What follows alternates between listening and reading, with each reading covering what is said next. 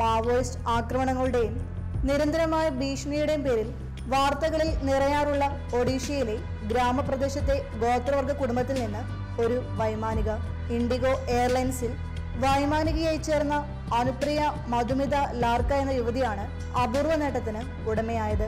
Maoist ഭീഷണിയുടെ പേരിൽ കുപ്രസിദ്ധമായ മൽക്കാൻഗിരി ജില്ലയിൽ ഒരു പോലീസ് ഉദ്യോഗസ്ഥന്റെ മകളാണ് അനുപ്രിയ. ഇന്നും വികസനം എത്തിനോക്കാത്ത മുഖ്യധാരയിലേക്ക് കടന്നു ചെന്നിട്ടില്ലാത്ത ഗ്രാമത്തിൽ നിന്ന് ആകാശത്തിലേക്ക് കുതിച്ചുയർന്നിരിക്കുന്ന അനുപ്രിയയുടെ പേരിൽ അഭിമാനം കൊള്ളുന്ന മാൽക്കാൻഗിരി ജില്ല. ഒപ്പം പിതാവ് മരിനിയസ് ലാർക്കയും മാതാവ് ജിമാജ് യാഷ്മീൻ ലാർക്കയും. അനുപ്രിയയെ ഇഷ്ടപ്പെട്ട കോഴ്സിൽ പഠിക്കാൻ വിടാൻ ഏറെ ബുദ്ധിമുട്ടേണ്ടി വന്നു പിതാവ് മരിനിയാസിന്. അദ്ദേഹത്തിന്റെ സാമ്പത്തിക ശേഷിയിൽ നിൽക്കുന്നതായിരുന്നില്ല വിദ്യാഭ്യാസ ചെലവുകൾ. ബന്ധുക്കളിൽ നിന്ന് കടം വാങ്ങിയ തുക കൂടി ചിലവഴിച്ചാണ് മകൾക്ക് ആഗ്രഹിച്ച വിദ്യാഭ്യാസം നൽകിയതെന്ന് മരിനിയാസ് പറയുന്നുണ്ട്. ദരിദ്രമായ ചുറ്റുപാടുകളിൽ ജീവിക്കുമ്പോഴും മകളെ ഉന്നതങ്ങളെക്കുറിച്ചുള്ള സ്വപ്നങ്ങളിൽ നിന്ന് തങ്ങൾ തടഞ്ഞിട്ടില്ല എന്ന് അമ്മ ജിമാജും പറയുന്നുണ്ട്. കുട്ടിക്കാലം മുതലേ മികച്ച ജോലിയും കരിയറും സ്വപ്നം കണ്ടതിന്റെ ഫലമാണ് ഇപ്പോഴത്തെ സ്വപ്ന നേട്ടം എന്റെ മകളുടെ കഥ എല്ലാവരും അറിയണം. ഒരു സാധാരണക്കാരിയായ പെൺകുട്ടിക്ക് ഉയരങ്ങളിലെത്താൻ കഴിയുമെന്ന അറിവ് എല്ലാവർക്കും പ്രചോദനമാകട്ടെ.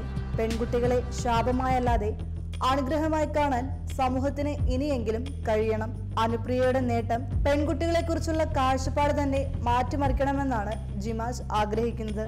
ഭർത്താവിനും മകനുമൊപ്പം തകർന്നു വീടാറായ കൂരയിലാണ് ജിമാദ് താമസിക്കുന്നത്. അനുപ്രിയയുടെ നേട്ടത്തിൽ അഭിമാനം കൊള്ളുന്നവരിൽ ധാരാളം പേരുണ്ട്.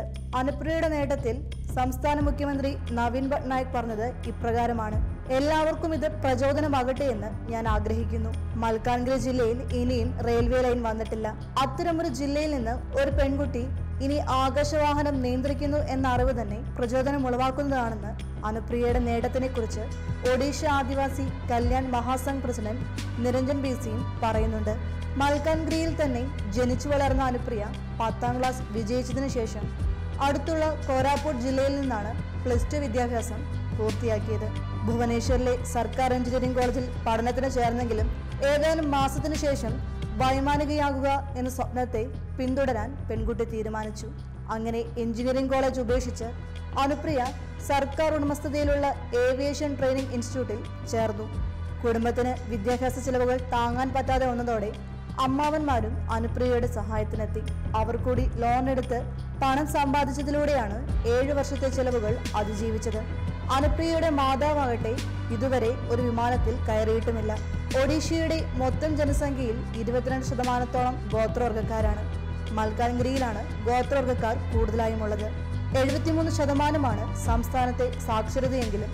ഗോത്രവർഗക്കാരിൽ നാൽപ്പത്തിരണ്ട് ശതമാനം പേർ മാത്രമാണ് എഴുത്തും വായനയും അറിയാവുന്നവർ. അവർക്കിടയിൽ നിന്ന് ഒരു പെൺകുട്ടി വൈമാനികയാവുക എന്നത് വളരെ വലിയ നേട്ടമാണ് രാജ്യത്തിന് അഭിമാനിക്കാനാവുന്ന നേട്ടം